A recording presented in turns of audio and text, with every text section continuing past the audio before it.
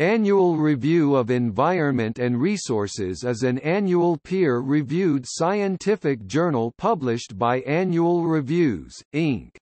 It covers environmental science and engineering, ecology, conservation science, water assets, energy resources, atmosphere, oceans, climate change, agriculture, livestock, natural resource management and global change.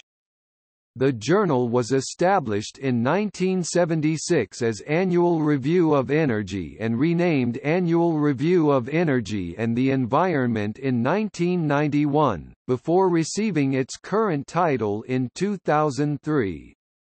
The editors-in-chief are Ashok Gadgil of the Lawrence Berkeley National Laboratory and Thomas P. Tomich of University of California, Davis.